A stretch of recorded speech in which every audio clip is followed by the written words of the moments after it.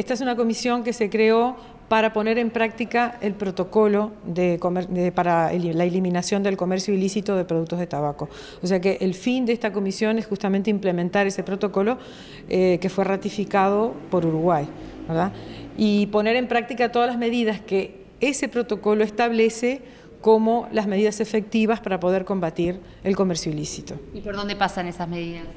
Bueno, es un protocolo extenso, pasa por el tema de, licenciamientos, por ejemplo, o sea, es, eh, es un protocolo amplio con muchas medidas y por eso la integración de esta comisión también es este, interinstitucional hay muchos ministerios que están, que están incluidos, el Ministerio del Interior, Ministerio de Relaciones, Ministerio de Defensa Nacional, Agricultura, Educación, Industria, pero también otras, economía, por supuesto, aduanas, DGI, pero también el Poder Judicial y también hay eh, organizaciones de la sociedad civil. En el mundo se, estima que aproximadamente un 10% a nivel mundial de los cigarrillos provienen del, comercio ilícito. El tema es que el comercio ilícito de productos de tabaco es una, gran amenaza para, para la salud y para las medidas de de control de tabaco en, particular,